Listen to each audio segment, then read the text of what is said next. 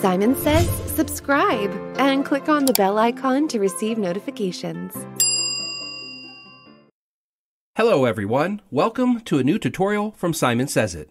In this video tutorial, I will show you how to curve text in Word. One feature that makes Microsoft Word stand out is the ability to offer a wide variety of additional customization and formatting options.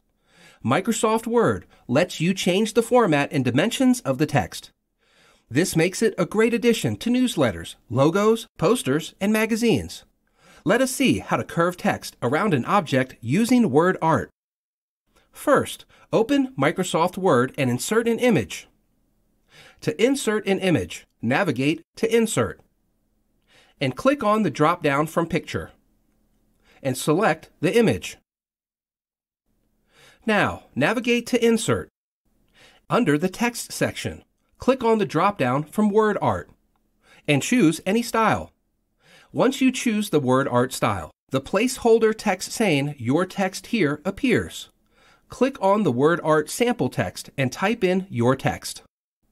After typing your text, select the word art style by double-clicking on the text.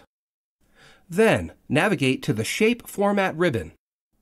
Under the Word Art Style section, click on the drop-down from Text Effects. Click on Transform and select any of the curve styles. Now, we have the required curved text in Word. Once you click on the text, the word art style is highlighted. You can then use the outline to move the style and use the anchor points to resize the style. The yellow point, which appears when the text is selected, is used to change the curvature of the text. Additionally, you can use the Layout Options button, which appears on the right side of the selection to change the wrapping style of the particular word art style. Sometimes you might want to curve the text without adding any word art effects.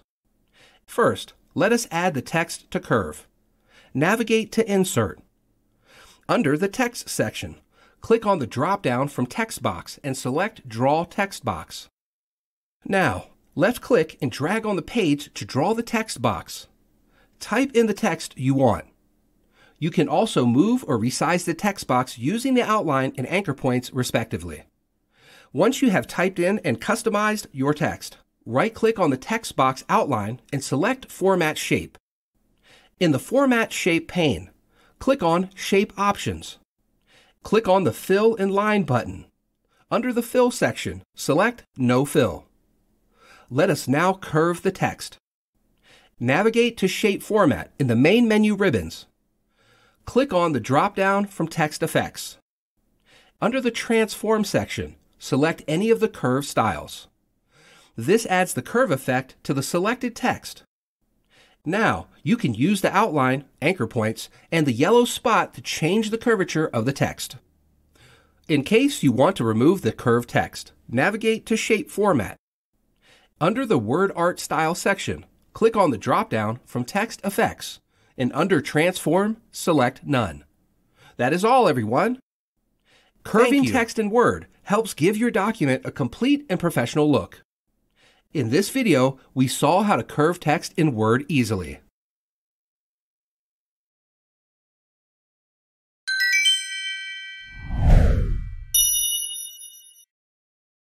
If you're not a subscriber, click down below to subscribe so you get notified about similar videos we upload.